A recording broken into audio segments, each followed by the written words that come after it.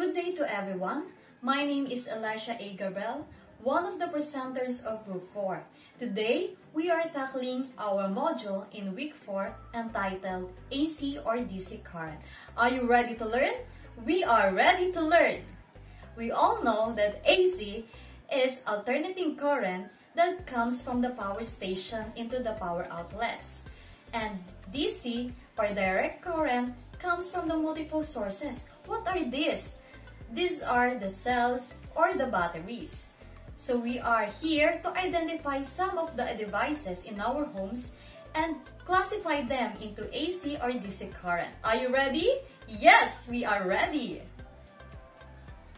AC or alternating current, we have here washing machine, refrigerator, air condition, blender, and flat iron.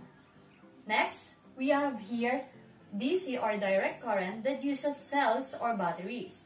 We are here flashlights, cell phones, laptop, and remote, lampshades. AC and DC is very important in our lives as we have here in a civilized community. Why? Because when when the typhoon struck our province or our in a community, we have alternating sources that can be used as the current. We have the batteries and cells. That's why they are very important. If we have no power station or no current power station in a power station because of the because of brownout or blackout, the batteries and cells were useful in our lives to provide electricity, just like emergency light, um, remote, uh, emergency light, emergency lamp shades, or anything that can be used for our safety. That's all. Thank you.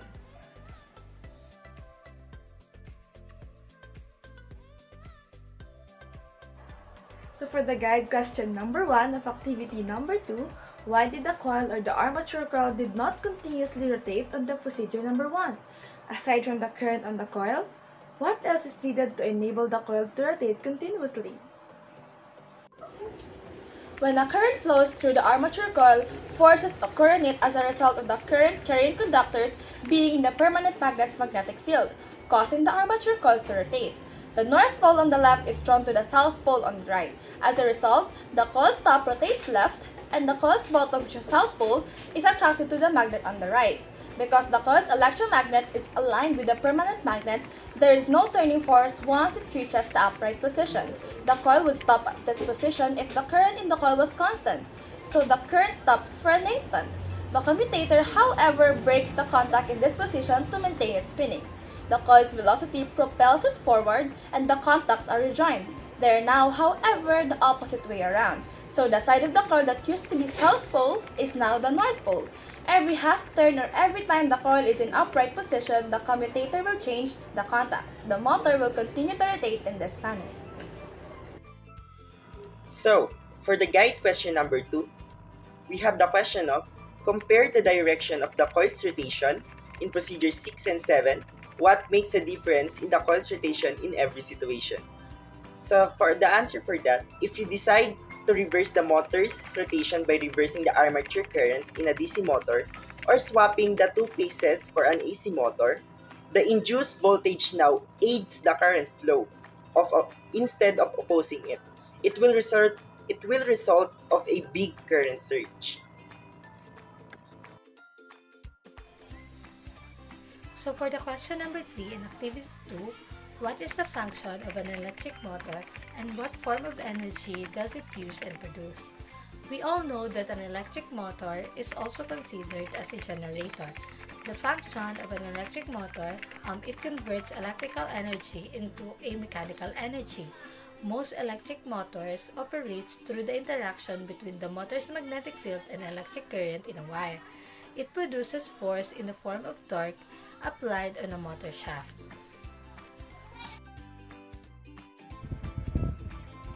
Lastly, for question number 4, what have we learned and realized about the activity? As we performed the experiment in the activity we've conducted, we realized that the AC-DC is a power. AC means alternating current power, is a started electricity. that comes out of power outlet and is defined as a flow of change that exhibit as a periodic change in directions.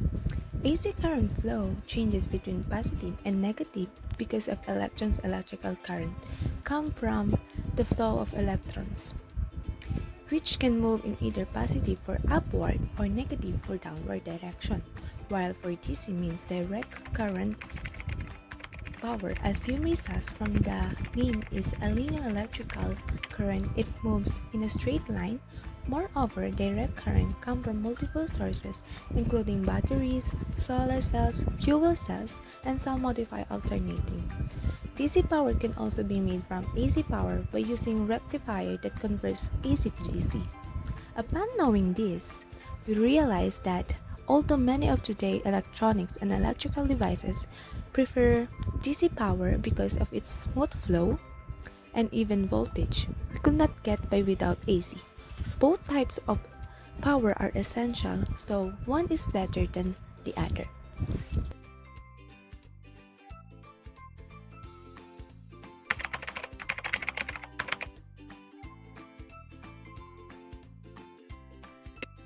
So we are now down to the last activity and we were tasked to answer seven guide questions. So for the first one, based from the devices you have given in activity number one, what do we think is the source of power of each device and why?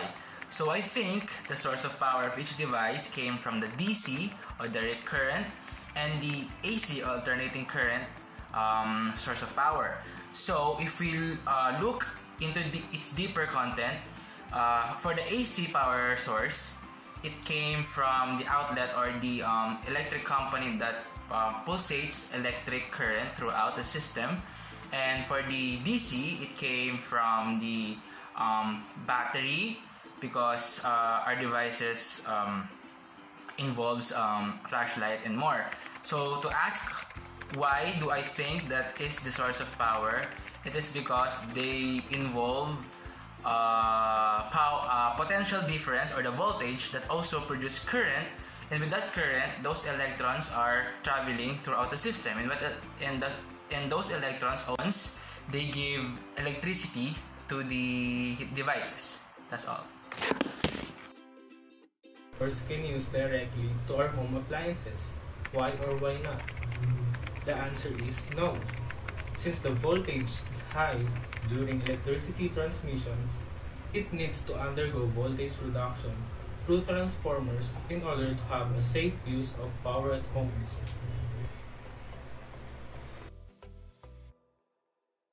So, moving on to the third question, we propose the concept of supplying electrical energy using alternating current. No other one but the only most famous invention of Nikola Tesla, 1856 to 1943, a Serbian-American inventor, electrical engineer, and a mechanical engineer who designed the alternating current or AC system. He was also known for his Tesla coil invention, which is used for radio technology and wireless transmission. So, for the guide question number 4, we have the question, what is needed so that we can use the AC power source in appliances that only requires low AC power? To answer that, we'll need a Variac style auto transformer linked to the main of a 120 volts to 24 volts transformer. By Faraday's law, every transformer operates on the concept of induction which is only feasible with an AC supply. So moving on to the fifth question, how can you compare alternating current or AC and direct current or DC? In just a brief summary of history of these two, on year 1856 to 1943, Nikola Tesla is the one who invented the alternating current. On, on the other hand, Edison is the one who invented the direct current. So, electricity is an electric current or power that flows through a circuit in two different forms. That's what we call the alternating current and direct current. So how do we convert these two? Um, basically, these two are both required for proper operation of our household appliances and technological equipment. First, a direct current or DC is often used in battery-powered applications. Everything that operates on a battery is what we call the direct current. We have that, the flashlight, cell phones, mobile phones, um, anything that applies battery. On the other hand, the alternative current is mostly utilized in the transportation of energy generating industries. It was also more often used to power electric motors, which are devices that transport electrical energy into mechanical energy. We have the examples of refrigerators, dishwashers, trash, trash disposal, and anything that applies to that. Basically, almost every home on the planet is powered by AC, although DC is more, than, more often utilized. Basically, both are required for proper operation of our household and appliances. It's just that, that, one is a flow of electric charge in one direction or DC, and the other one is the flow of electric charge that periodically reverses direction or what we call the AC. That's all. Thank you.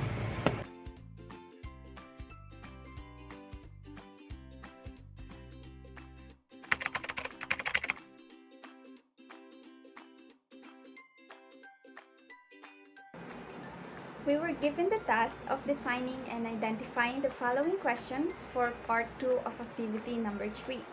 Now, I'm going to discuss item number 6 and the question is, what kind of circuit is having a closed loop with an inductor and a capacitor?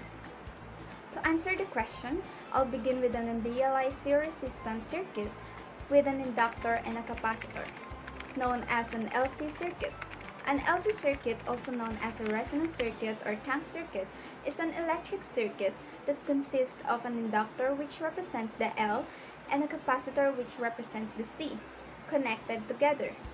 The capacitor of this circuit begins to discharge when the switch is closed, causing a current to flow through the circuit. In turn, the current induces a magnetic field in the inductor. So for the last question, we have why is AC or alternating current more dangerous than DC or direct current? The dangers of alternating current or AC are 5 times greater than the dangers of direct current or DC. The major cause of this harmful effect to the human body is because of the alternating current's frequency. A cycle frequency of 60 cycles is highly dangerous. Even a tiny voltage of 25 volts can kill a person of this frequency. AC produces intense muscular contractions as well as perspirations. As a result, the skin resistance is reduced. It is critical to remove the victim from the current as soon as possible as prolonged contact with the current lowers skin resistance and risks the life of the victim.